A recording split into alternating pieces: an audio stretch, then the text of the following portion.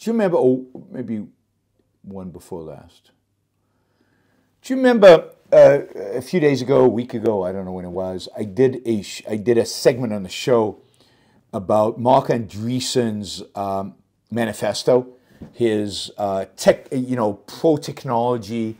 Uh, technology will make the future better. Technology is great. Technology is wonderful. Technology is amazing. And this optimistic, just optimistic manifesto, I was excited by. It. I thought it was wonderful. You know, uh, Marc Andreessen has written a lot of really, really good stuff uh, lately, and uh, and he had this techno optimism manifesto and uh, I thought was terrific and uh, consistent with a lot of the things I think I believe and I think many of you believe.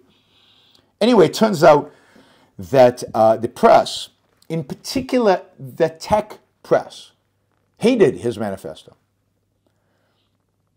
Take a magazine like Wired. Now, Wired used to be like, yes to progress. We love progress. We love tech. We love that the future's great startups are great. I mean, it used to be, it used to reflect this sense of optimism and positivism and excitement that Silicon Valley presented. But Wired, I think, with some in Silicon Valley, has taken a bizarre turn, a bizarre turn. So when describing Marc Andreessen essay, and I've commented on this in the past with other essays in Wired magazine. I used to read Wired in the 90s and 2000s. It was an exciting magazine to read. So it accuses Marc of being a merchant of progress. Now, what's the deal with merchant of progress? Merchant of progress are people who make money off of progress. How dare they? It, you know, writes favorably about technology smashing, you know, Luddites. You know, it, it, it ran a story on October 22nd, just a week ago. Everyone is a Luddite now. Right? A new history of the Luddites argues that 19th century fears about technology are still relevant today. It's the latest in a long line of attempts to reclaim the label. Yeah, this is they give it a very positive review, right? Uh, they even ran a story about uh, about uh, Gaza being a hub, a tech hub. This is the headline: Palestinians' growing tech industry has been literally blown apart by the war between Israel and Hamas. I mean, I, I laugh. I shouldn't laugh, but it, it, it, it, it's pretty ridiculous. You know, really budding, you know, this thriving tech industry that doesn't really exist. Um, so Steven Levy, uh, uh, uh, in the pages of, uh, of Wired, referred to Marc Andreessen's exuberance along with all the industry's top venture firms, as examples of late stage capitalism. This is the death of capitalism, the end. To quote, uh, uh, you know, the purpose of Marc's manifesto, according to this author, was to quote, take your money, your vote, or your soul. That's what venture capitalists are about taking your money, your vote, and your soul. And that's what the manifesto is about this techno optimism. It's about your soul, it's about getting you.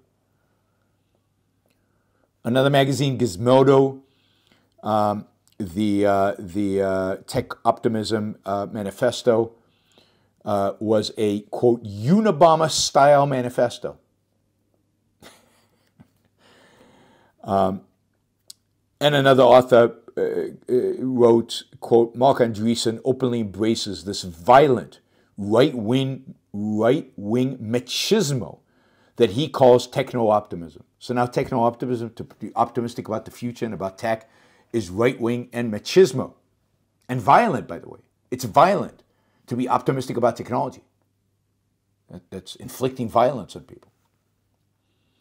Fast Company, Financial Times, San Francisco Standard, Business Insider, Washington Post, all were just furious about how dare a capitalist actually express his view that the future is good if only we allow technology to help us grow our economies. He is a venture capitalist, after all, and that is what venture capitalists do. They express that sense of optimism in the investment that they make every single day. TechCrunch, Again, one of these bastions of pro technology, pro future, maybe 10, 15, 20 years ago. No more. TechCrunch quotes, uh, uh, quote, when was the last time Michael Andreessen talked to a poor person? Really? That, that's relevant. Actually, sorry, the Gaza Strip story was actually written in TechCrunch, not in other places.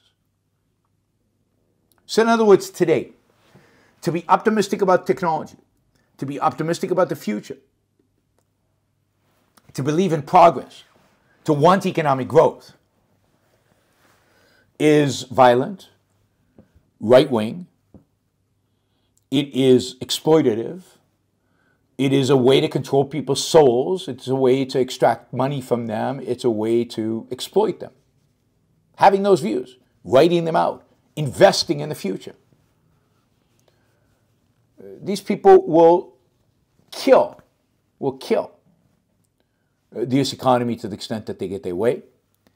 They are, um, they are, you know, anti-humanity. They express views that are anti-human flourishing, exactly the opposite of what morality demands. They are destructive to human life.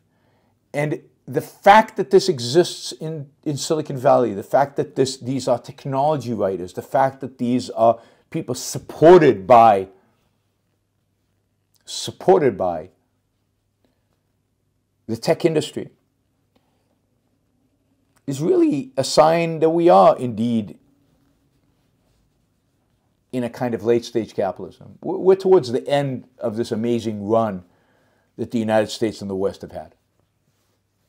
You can see that in Ukraine, in the weak, pathetic response of the West. You, can see that in Gaza with the moral equivalency and the turning against Israel that has happened. And, and I have one other story about that. Um, and you can see it in the fact in Greta and in the, the, the, the, the all the insanity, the, the, complete, complete insanity um, of, uh, of, of, climate change catastrophism and, and the demands that they make, the anti human demands that they are making.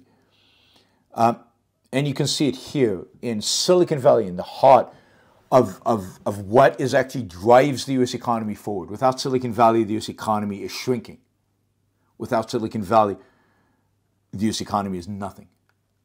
Without Silicon Valley, whatever economic progress we've made over the last 30, 40 years would not exist. And in that, what used to be the epicenter of optimism, excitement, the thrill of producing, of creating, of building a beautiful future, if in that, in the heart of that, this is the attitude, I just don't see how we get out of it. I just don't see how we're not, not in a place of steady, slow, but really almost impossible to reverse a decline truly horrific.